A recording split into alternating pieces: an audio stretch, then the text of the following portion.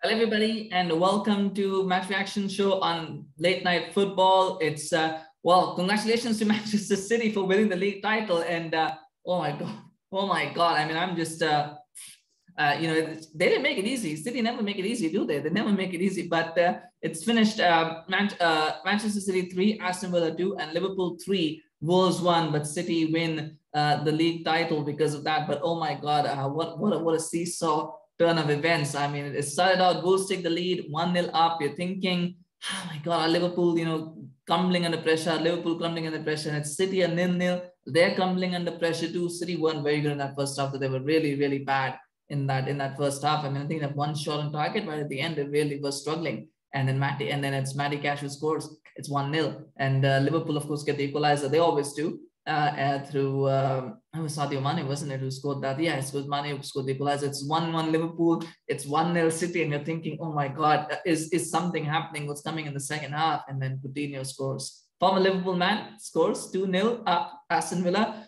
You're thinking, well, as long as Liverpool just need to get a goal, Liverpool just need to get a goal, and then City will, you know, the, you know, could could the, the ramifications change, and, and ah, and, you know, it's, it's, it's all pressure, and nerves, and, and I'm, I'm a neutral. I'm, I don't support either you, and I wanted City to win because I don't want Liverpool to win. But oh my God, it's it's just nerves and jangling, and you're wondering has Pep bottled it? Has Pep bottled it? Um, and and you know the, the the the memories of Madrid come back. Remember, keep in mind, Mahrez could have sealed it against uh, Liverpool. He could have sealed it against West Ham. And they missed two chances. They they could have done it against. They, they shouldn't have dropped you know six points to Spurs. They you know the, those are things that you think about as the season goes, and then suddenly Gundogan scores of a header, uh, and then uh, Rodri scores the wonderful shot past in, and then Gundogan scores again with a wonderful cross from De Bruyne that comes in. It's 3-2, five minutes, 3-2, and there it is. And and uh, ah, you know, and Liverpool is still one all. Liverpool is still one all, and then of course Salah rattles one in. Robertson rattled one in, but it doesn't matter. It's too late. Um, and it's finished 3-2 City and City are the champions. You know, that, that's how simple it is. Sometimes, sometimes uh, they make it hard, but then it's also very simple, isn't it? The equation. Liverpool City just need to win, and they do that. And uh, congratulations to all City fans. I think I think the only thing the Klopp will think about is the fact that if if at one event City were down two 0 and Liverpool were one all, if they had got a goal there, you know, in that period, because sport travels, right? And they've got that goal, tell you what, things could have been different. Things the pressure suddenly starts, things get different. But you know, um, such as football, we'll never know. We'll never know. But at least Liverpool's quadruple bid is over.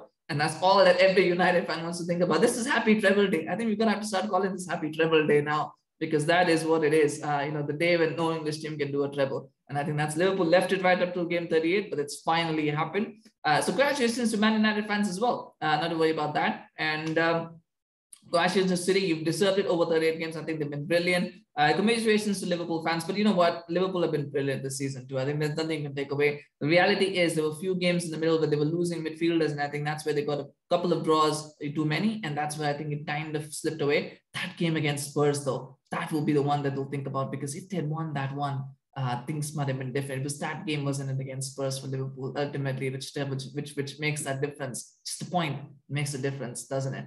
But uh, anyway, that, that's, you know, Amanda Fana, they will do, of course, more in-depth uh, reviews for the season, of course, with City fans as well. We'll try to do that. But at the moment, congratulations to City, uh, congratulations Liverpool. We've got another match reaction, uh, one coming up for you as well for the for the European League spot. So we'll talk about that as well. So much happened today. So much happened today. So stay tuned. Uh, please remember to like this video if you enjoyed it, share it as well, and do subscribe uh, to our channel on YouTube as well as on Facebook because we've got a lot of comment, uh, you know, content coming up today. So you want to get stay notified as they come. So you know, stay tuned. Take care. I'll talk to you soon. Bye bye.